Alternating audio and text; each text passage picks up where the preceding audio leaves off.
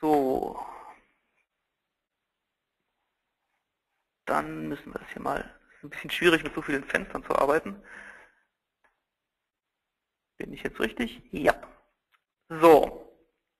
Jetzt suchen wir uns mal, suchen wir mal denjenigen, den wir eben angelegt haben.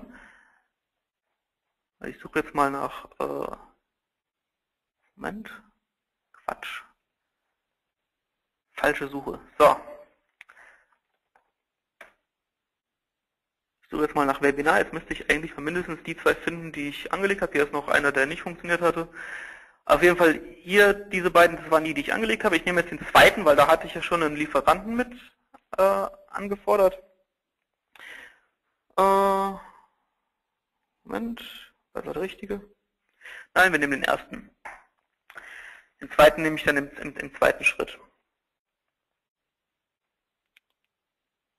So, die, die, der erste Workflow, den ich jetzt zeige, ist, wenn ich nur eins von diesen mache. Also wir machen jetzt wie eben auch nur die Grunddaten, die wir ändern, deswegen habe ich jetzt hier den ersten genommen. Ähm, um es zu ändern, drücke, also ich zeige, wenn ich ihn an, anwähle, zeige ich mir den nur ein. Sobald ich auf Edit drücke, wird ein neuer Change Request angelegt.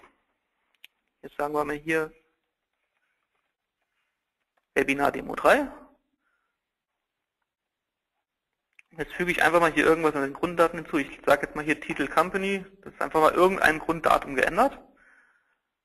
Ansonsten lassen wir mal alles gleich. Das schicke ich jetzt ab.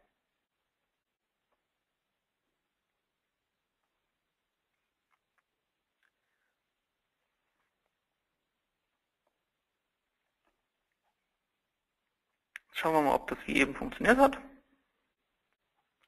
Gehen wir wieder ins Workflow-Log. Und siehe da, wie eben auch General Data Approver soll das jetzt abwickeln. Also gehen wir zum General Data Approver, aktualisieren seine Worklist, dann müsste es jetzt da sein. Genau, hier ist jetzt das Work-Item Webinar Demo 3. Das ziehe ich mir jetzt.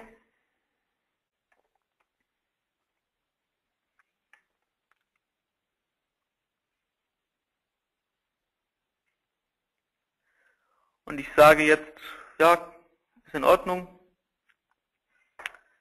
Und dann müsste es aktiviert werden.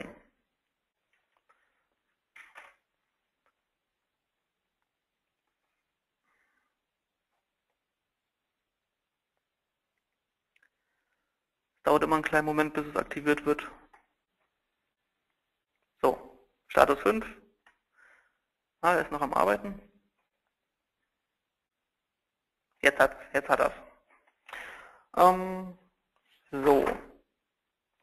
Das heißt, wir haben jetzt diese Änderung vorgenommen, ist jetzt erfolgreich im ERP verbucht. Jetzt kommt der wirklich spannende Fall. Jetzt äh, zeige ich Ihnen einen parallelen Workflow-Ablauf.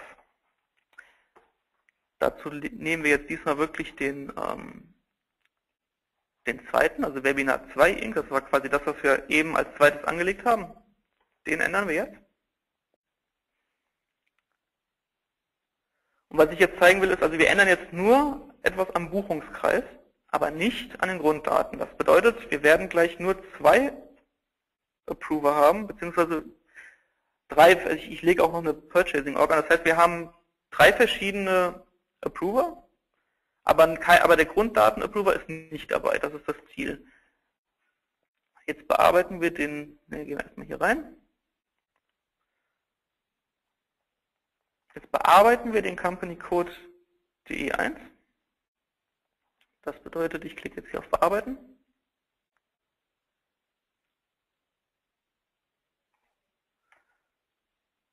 Ähm, ändern wir einfach mal das hier. Es muss ja nur eine Änderung vorgenommen werden. Ist jetzt, inhaltlich ist es jetzt nicht so wichtig, was da geändert wurde. Jetzt lege ich einen, den, jetzt lege ich einen zweiten Company Code an.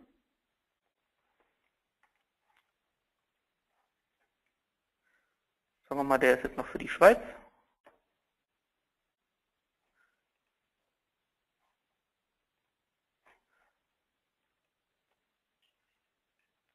Und ich lege jetzt auch noch eine Purchasing Organization an.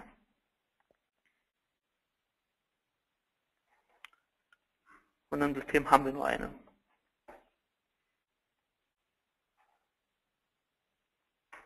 So, noch eine schöne Währung aus. D-Mark nehmen wir nicht, das ist zu alt. Nehmen wir den Euro.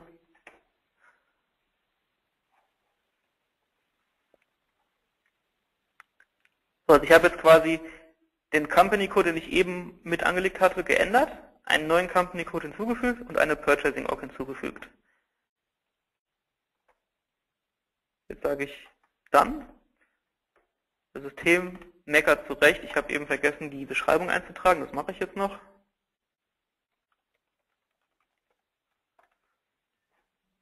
Jetzt müsste er eigentlich nicht mehr meckern. Sehr gut. Dann kann ich den jetzt abschicken. Also ich habe jetzt wie gesagt nur Organisationsdaten geändert, aber keine Grunddaten. Dementsprechend erwarte ich jetzt, dass der in eine dreifache Parallelität geht, aber nicht die, der Grunddatenapprover dabei ist. So. Schauen wir mal, wo er jetzt steht.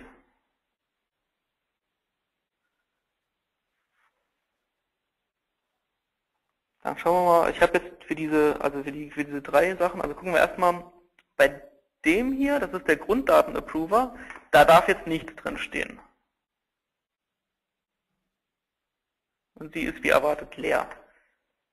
Das hier ist der Approver für Organisationsdaten allgemein, den habe ich jetzt in diesem Workflow für die Purchasing Org Daten genommen, das heißt, er müsste eigentlich das Work Item haben. Schauen wir mal, ob dem so ist.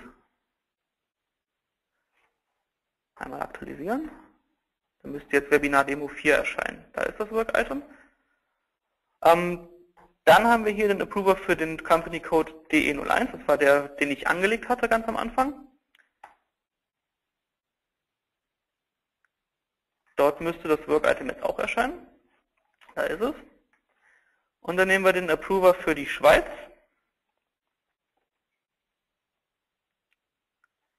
Der lädt jetzt auch.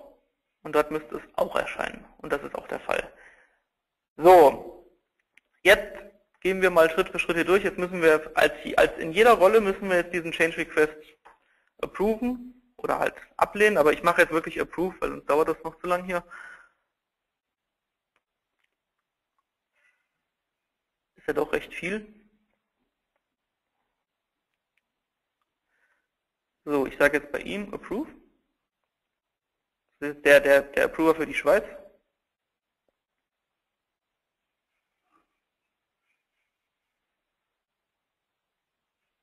Hat funktioniert. Machen wir den zu. Hier nochmal einen Refresh, zu gucken, ob das Work-Item immer noch drin ist. Müsste ja eigentlich noch drin sein. Das ist immer noch der Fall.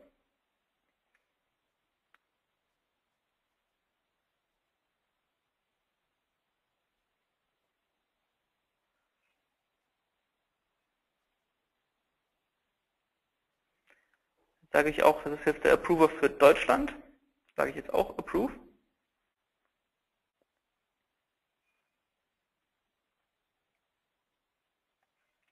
Das hat auch funktioniert. Und jetzt nehme ich, das ist jetzt der Approver für die Organisationsdaten allgemein, in diesem Fall für die Purchasing Org. Hole ich mir das Work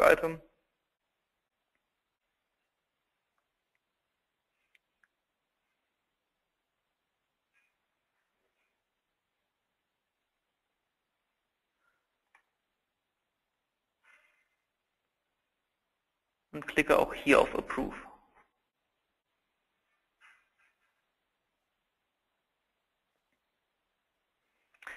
So, jetzt habe ich alle drei parallelen Branches approved.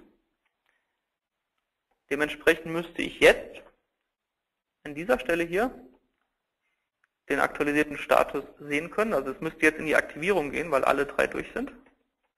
Schauen wir uns das mal an. Ist aber noch in dem Status, das heißt, es ist noch am Arbeiten.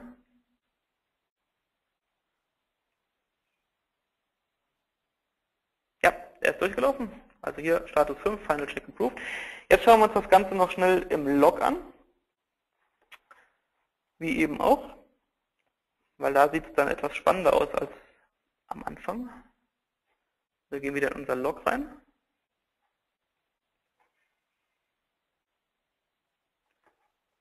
Wo haben wir ihn? Da ist er.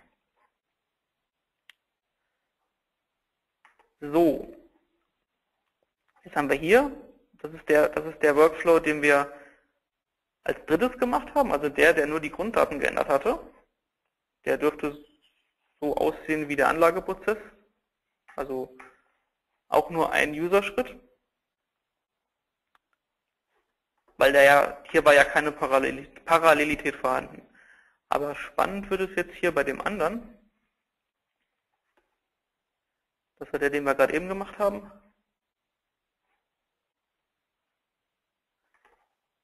Hier sehen wir, also dieser Workflow ganz normal.